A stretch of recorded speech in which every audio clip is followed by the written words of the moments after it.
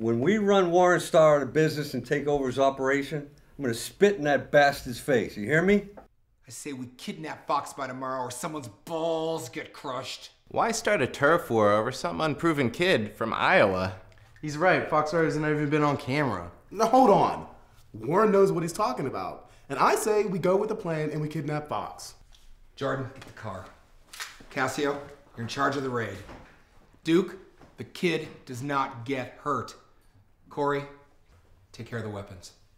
Get the fuck out of here!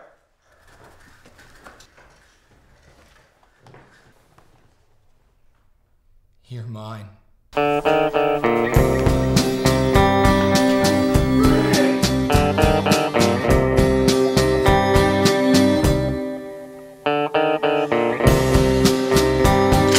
And another thing, I want the Dusty Jones as my co-star, and then I'll sign.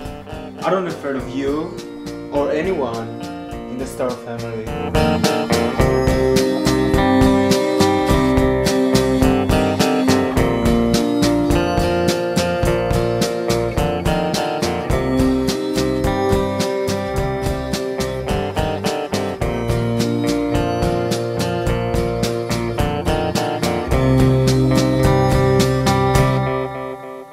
If you see Duke Star again, I'm gonna fuck him up for good.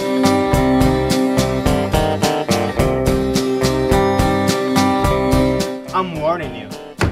Back off. Yeah!